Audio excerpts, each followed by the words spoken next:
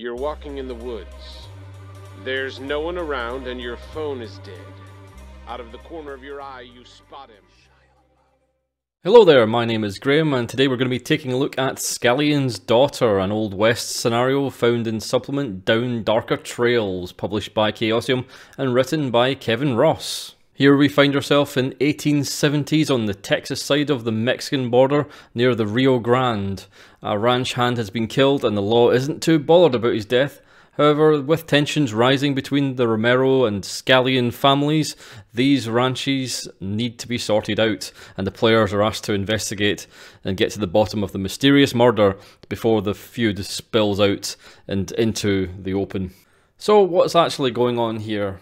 Well, with the Scanlons buying property from the Romeros to build their own ranch, destroying a snake den in the process, Yig cursed the wife, Frances of Everett Scanlon.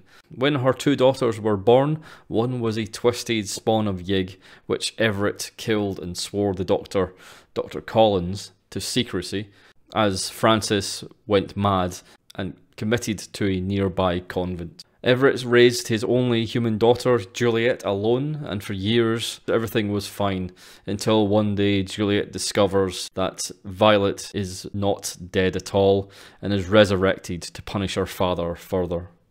When the two become best friends and wanting to be more like her sister, Violet desires a boyfriend much like Vicente is to Juliet, but due to her monstrous and animalistic nature, she only kills them instead, the first victim being the Scanlon ranch hand called Nick Clayton. Where I enjoyed this scenario, there is a lot of work for the keeper to do to set up and run this one as intended. The scenario is very much an open sandbox, old school type that gives you the bare minimum information for it to function and has a reasonable amount of fleshing out for the keeper to do in advance to expand the world into a, a living and breathing entity. With the two main locations, the Romero and the Scanlon Ranch covered in two short paragraphs, just giving you the outlay of the buildings and nothing else. This is where you're going to be spending the bulk of the game, so I would say you want some confidence in improv, uh, as this one will definitely throw you some curveballs as the players wander off into unplanned areas of the ranch, and uh, it is nothing more than empty shells. The scenario itself is linked to San Rafael, one of the fleshed out towns within the Down Darker Trails setting book. It provides everything you need to run the adventure out of there, and I think the other scenario provided in the book is also linked to San Rafael as well, creating a really nice hub to start off the campaign should you wish to do so, with a, a very lived in town. But it's a little ironic that it's so well fleshed out and mentioned in this scenario a fair bit because it's quite redundant uh, within this scenario setting, uh, where the ranches are barebone and vital. Running this as a standalone scenario, one shot, I would recommend removing most of San Rafael as it offers nothing to the overall story and is literally just padding or a slice of life in the Old West, but uh, without offering any substantial plot benefits to the actual story. If your players are hardcore RPers and you feel they would enjoy shooting the shit in the town during the night, then go for it. But otherwise, cut this town off like a vestigial limb and keep the events on the ranch at all times. On top of this, I would suggest scrubbing the scenario of all names linked to Romeo and Juliet to turn down the cheese and notch and disabuse your players and yourself from quoting from that play and having your eyes roll all the time during this scenario. The easiest way to do this is just rename Juliet and perhaps even the Romero Ranch because uh, they are too on the nose for it to be anything but so blatant uh, as to give away the entirety of the story almost. And um, the more the Romeo Juliet stuff is hidden and under a layer of a retelling, the better this scenario gets. Because as soon as they know there's two children in love who come from opposite families, then they pretty much are going to shut down and not care about anything else, really. And uh, it's hard to keep them on track with anything other than uh, the cliches and the silly humour. So do yourself a favour and uh, make sure you purge this clean. The scenario offers many ways for the investigators to enter the story, the main two being as a ranch hand discovering the body or brought in to solve the crime from the nearby town of San Rafael. There is a small problem with the story here with the scenario going into depth about how the US Marshals aren't involved and they have thrown it to the town marshal, uh, Mateo, in San Rafael. This would never happen. Town marshals are elected by the, the town themselves and have zero authority outside its limits. To solve this, you just say the US Marshals are out of town in business and the, the ranchers will need to sort it out themselves or find someone to do so or it's going to blow up into a feud. But for notes of reference, town marshals are basically chief of police and have deputies under them, which would be the policemen. They are not that special, and their duties included things like picking up litter and shooting stray dogs. If I were to play this scenario again and want to include San Rafael, I would start this story more organically in town, opening up in one of the saloons, the Longhorn, with the ranch hands from both the Romeros and the Scanlons present causing the town marshal Mateo to kick out the Scanlons for firing off guns or beating the Romeros in a barroom brawl, uh, bringing the PCs in in a violent and quick way right at the start. This is a little West Side story, so try not to have the ranchers dance and click their fingers at each other uh, if you can help it. Having a Romero ranch hand show up at the Longhorn Saloon to fetch the marshal and the doctor is probably the best and most organic way to start it as the barroom brawl ends and the Scanlons are kicked out as this will inform the players as to the two feuding ranches and allows the marshal or the town marshal Matthias to tell them that he has no authority outside the town and will have to look somewhere else for someone to solve the, the mystery or the feud will blow up in their faces. This uh, gives the PCs who are present a call to arms and they can easily pick up this investigation from there. If you're wishing to stretch the scenario out to a couple of days, which the scenario sort of implies that it wants you to do, give them the time uh, in town to get what they need, uh, get hold of the doctor, and then head out back to the ranch. Uh, this gives the ranch hands and the doctors time to quiz the messenger on the ride back and invites the PCs to do likewise. I started the PCs out already en route to the ranches from San Rafael. Uh, this cuts down the scenario by perhaps about an hour and it stops San Rafael having to be involved entirely. Starting the players as the ranch hand will work fine too, but there's some preparation you have to do because there's a lot of expedition dump on the backstory to give the players as they will assume that they know a lot about the two families being working on the ranch already. If you do this opener, I would suggest that these ranch hands are new and they don't know too much, but just uh, mild rumours and hearsay from the other ha older hands and they're going to get the finger pointed at them for finding the dead body, so they'll have to clear their name. This does introduce the possibility of someone riding back to town to get a real investigator like a Pinkerton to look into this, and could open up a fun dynamic for you there as well, as they stalk the same locations and look at each other with suspicion.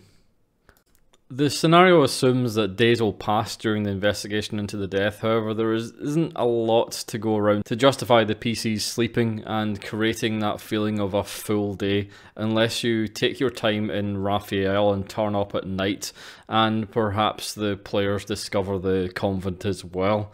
The distances provided on the map between the two ranches are only a few miles and horses even just walking very very casually can go to most places within an hour hour. This is one of the reasons I decided to condense the scenario and cut out the convent and San Rafael to offer a much tighter location and a better pace to the scenario itself.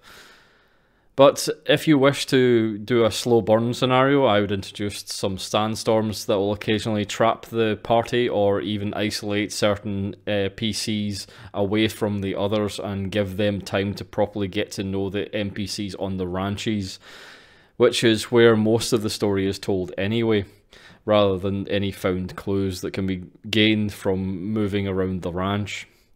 But uh, this is all on the keeper's shoulders to do, and ultimately, as the ranches are fairly bare bone at best, introducing the trappings of life like food and drink, like some wholesome lemonade, and forcing the children of the ranches to perform some awful singing to entertain the guests is probably the easiest way forward and isn't too much hassle.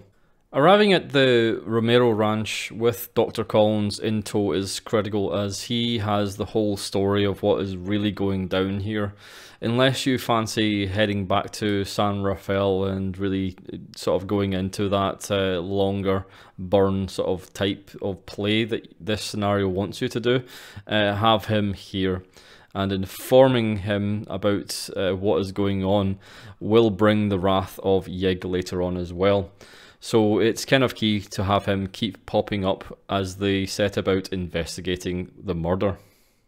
I'd also have him being a terrible doctor, so the PCs are forced to investigate the body by themselves and not rely on the doctor too heavily. Have him make general assumptions about Clayton and not go into in depth about the actual forensics of it. He is just a general practitioner after all and not an investigator. He can only give his uh, opinion of what he understands and knows, and that shouldn't be much at all.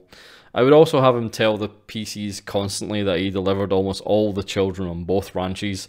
This is to make him a go-to when the idea of a second child from the Scanlons arises. When it comes to the body of Clayton, there's not a huge amount to go on. I had Clayton's remains brought back to the Romero ranch and put in a barn to broil in the sun to create a, little bit more drama with torrents of flies as they open the barn door and creating a second location for the creek to be investigated rather than having them both in the same place. I also introduced a strand of the long hair here uh, as well as that they'll find in the creek too to basically hammer home that suspicion and uh, add Cecilia Romero, uh, the mother, uh, to the list of suspects straight away. Let the PCs look around the ranch and have some of the ranch hands shirking their duties to looky loo at the newcomers, offering up some opinions and spilling some gossip on the two families. There's a lot of fun to be had here, and the list of NPCs available to uh, harangue into helping or hindering the PCs is quite deep. Uh, so just go with the ones you like and uh, see where it takes you. Again, improv is quite important here. While at the Romeros, you will have to find a way to introduce the two brothers as well, which will bring up the plot about Juliet and their midnight adventures at the creek. Having Vicente, or Romeo, being told by his father to show them the spot where Clayton was found is ideal, and giving him a black eye will be enough to spark a conversation to introduce these elements of the story. While travelling the ranches to the creek, I had the PCs constantly followed by some of the Scanlon ranch hands, having orders to beat and scare any of the Romeros that they come across. I'd also have them ask questions as to where Clayton is if they should be interacted with, as he is one of theirs after all. Don't have them shoot to kill or even being overly aggressive. They should just act as bullies and introduce some danger and threat to the PCs moving around the ranches. And if they are confronted and caught, uh, they can offer up their own side of the story, perhaps elaborating that the Romero boys uh, harass Juliet with her being the only female of age on the two ranches, and it's and the constant skirt chasing caused Everett to be sick of it, and he started to order them to be beaten. If they let spill that Clayton is dead, uh, they can become more somber and will start to say that the feud will definitely be on now raising the stakes even further. There is a few events you might want to introduce here as they travel across the ranches, the dead cattle, and uh, definitely some snakes that would be good to litter both of these into the background. Having snakes act unnaturally and watching their every move as they edge forward in their investigation. What they find in the Crete is very little, but I think it's important to offer the event the trail of the snake and multiple tracks from the fall into both ranches. This will double down the long black hair and if Vicente is with them, he can let them in a little bit more about Juliet and her long black hair, and how he can't get her to run away with him, and she won't tell him why. This should throw some suspicion her way, and edge them towards heading up to the Scanlons ranch. I wouldn't string the players along too much as this scenario is quite obvious with its investigation and if you shut down the tracking too much you might just look like a dick and leave the players with no leads left as everything you follow is grind to a halt as you deny every idea they come up with but giving them the same clues again and again which will just cause frustration as you offer just more dead ranchers that are victims of violets so I wouldn't do this unless you want to up the antes and have Violet glimpsed at some point. If you do so, then they will definitely move down the creek and find Violet's lair. I had this happen with one of my groups, and they actually went into the den as well. I dissuaded them from going much forward with a swarm of snakes that follow them out like a tidal wave, and uh, this made them, them back out and move up to the Scanlon Ranch.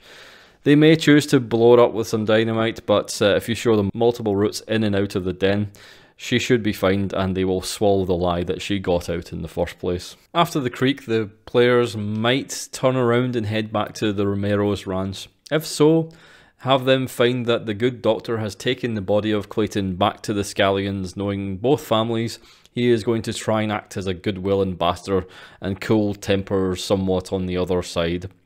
If they stay the night and pick up where they left off in the morning, I would also perhaps have them spot Vicente leave during the night if they make a good roll as he goes down to the creek to meet with Juliet. And perhaps they'll even find his older brother, Alphonse, dead the next morning too, as he goes after the boy instead, making the situation worse. With the, the death of the older brother, I would have the Romeros go all out and take the death as a sign or declaration of war.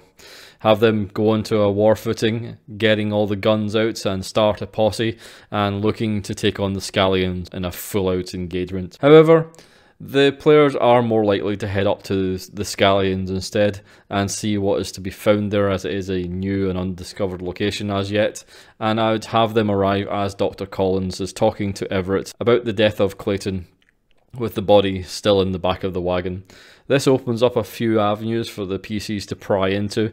Depending on the time, you can have Everett and Juliet entertain the investigators as well and have Collins open up about the second child should they ask about Juliet's heritage. This is where your events Yig's child should be ready to go as the good doctor says just a little bit too much and the PCs lean forward to hear a little bit more.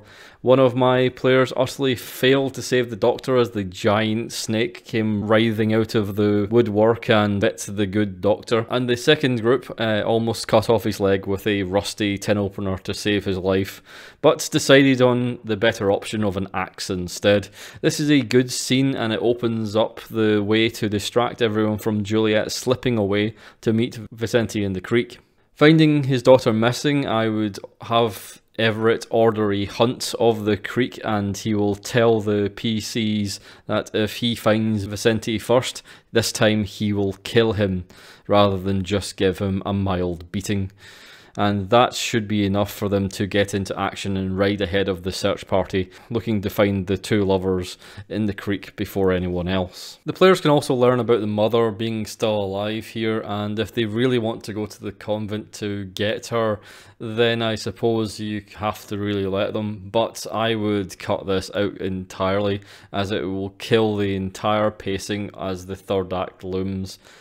If you really want to include it, I would perhaps use it as a small scene at the end as some sort of closure and uh, helping mend the feud between the two actual families. But um, for now, the pace is on, the action is here, and to move the whole party miles away to the north and let these two families just duke it out seems rather counterproductive. Hunting for these two star-crossed lovers during the night is where I decide to use the stampede, just to sow some confusion and drama as they move across the ranch for one last time.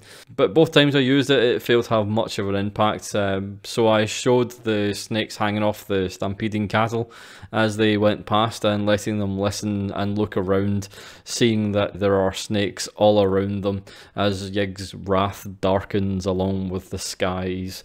I would make the two kids pretty easy to find as they have moved to the creek and it's a fairly straight and easy location just to scout around and they should be acting like the embarrassed teenage know-alls that they are. Once they find them and they've had that conversation, it's time to look for a solution to the feud, and you can introduce the elements that Juliet won't leave with Vicente, and with the right encouragement, they can be sent off towards the Romero's ranch, and then I would have them hear the scream of a ranch hand being snared by Violet nearby. Play it out as you like, with Violet not quite understanding the concept of a boyfriend, and perhaps embracing one of the PCs too should they get too close. While Juliet and Vicente might still be with them or headed off towards the other ranch, I would have Juliet stick around in the bushes and watching, ready to jump down and defend her sister should they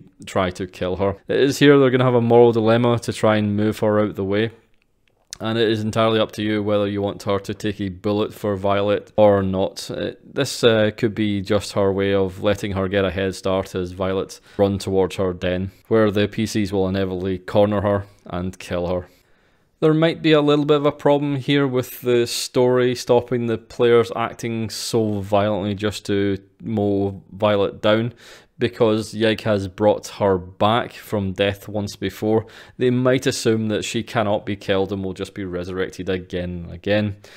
This is something that uh, you're just going to have to sort of deal with, and uh, I would not even introduce the idea that she was brought back at all, and have the good doctor um, being sworn to secrecy, and the father just hiding her on the ranch, tolerating her presence and hand waving off any reports about dead cattle here and there. This way that there's no real pretense and it's quite straightforward. So by plucking that piece of information out of the scenario, uh, you'll stop that from happening as well.